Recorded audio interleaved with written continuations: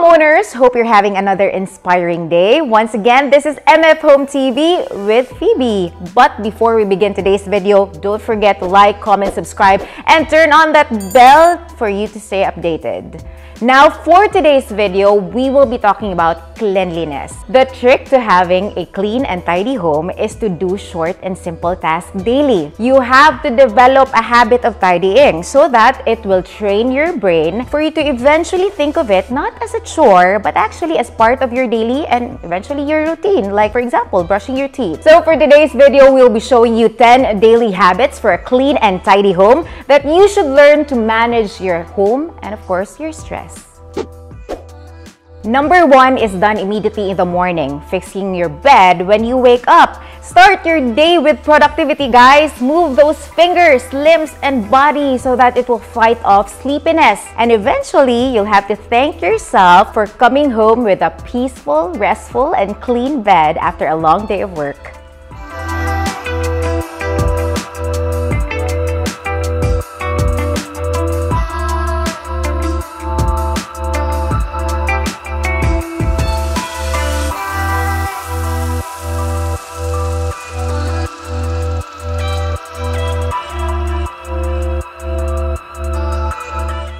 Number two is to do things until it's 100% done. A good example of this is when you're doing your fresh laundry. Don't just stop at the folding and leave it for another day. Immediately organize it inside your closets. The thing is, you don't know what unexpected task will come up tomorrow. So the more tasks that gets piled up, the less likely you get to do them.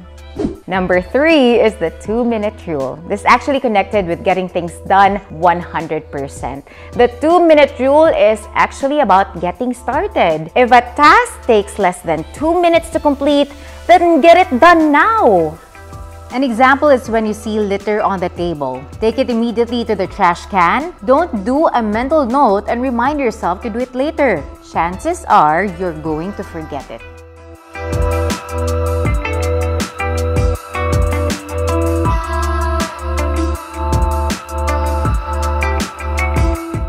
Number four is to arrange things as you go. It is actually multitasking, but with very minimal actions that it won't distract you. What I mean with this is wherever you go in the room, train your hand to find at least one item that is incorrectly placed and adjust it. It could be a picture frame that is in the wrong direction or correct it while you're passing your entryway. A toy in the middle of the room while you're walking. You just swiftly pick it up and drop it where it needs to go.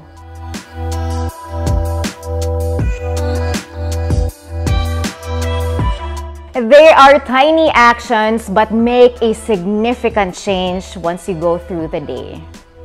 Number five is to have a place for everything and if necessary, label them.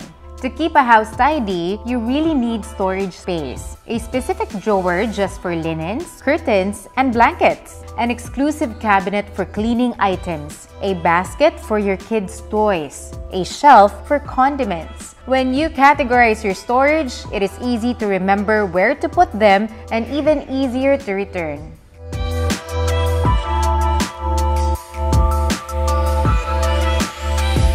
Number six is to keep products where you use them. When you're brushing your hair, keep the brush inside the room. Don't go walking out while doing it because you will misplace your comb. Another way of approaching this tip is to keep your bathroom cleaning tools and liquids inside the bathroom. You have to separate them from your kitchen cleaning items and store it on its own. This way, you can do a quick cleanup if your bathroom is suddenly smelly or there's an annoying grime you need to brush that can't be washed off with water alone. By storing products, especially cleaning tools, where you literally use them, it won't be so hard to maintain a clean and tidy room.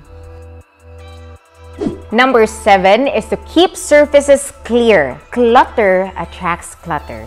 Psychologically, when you see a street full of garbages, you tend to throw your garbage also in that particular area. But when you see an area very spotless clean, you tend to be ashamed on throwing your garbage there and you look for another place. Side tip, please throw it in the proper garbage can, alright? This applies to your home. If the surface of your table is full of unnecessary stuff that doesn't belong there or it's disorganized, you're likely to not care anymore and just continue piling stuff on top of one another. Number eight is a cleaning trick and that is to wipe things in a zigzag motion. We are so used to wiping areas in a circular motion that it creates an endless inefficient loop of cleanliness and dirtiness. To visualize it, you wipe the dirt to the right bring it down in a half circle, and then bring it up again. And then repeat it to the right. You wipe off the dirt, but then you wipe it on again on the clean surface. Just like how we clean from top to bottom, you wipe from the left to the right and then bring it down below the first left and then right again and so forth without lifting your hand in a zigzag.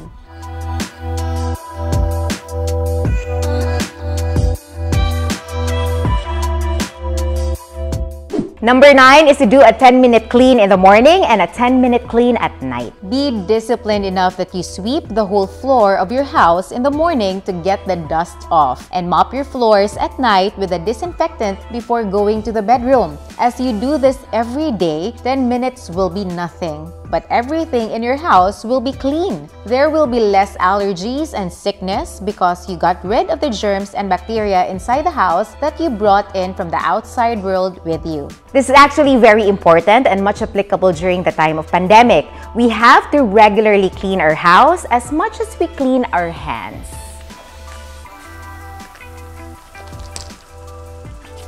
Number 10 is actually something that you cannot do every day, but yearly. But I've decided to include them in today's video because how can you develop a habit of cleaning every day if you have so many unnecessary things because they will always be there. So number 10 is to declutter yearly. But we discourage you from throwing things away because we have to protect our environment.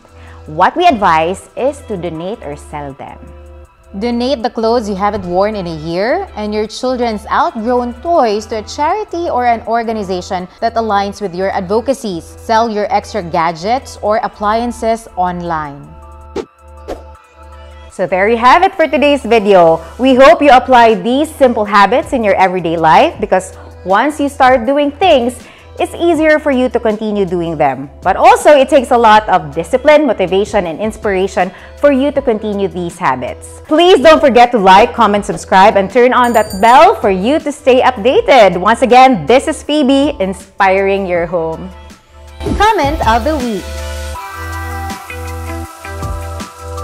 Congratulations to last week's winner. This week's prize. Number three is the two minute rule. Number eight is a cleaning trick and that is to wipe things in a zigzag pattern. We are so used to wiping things in a circular. Ay, katawa. A circular.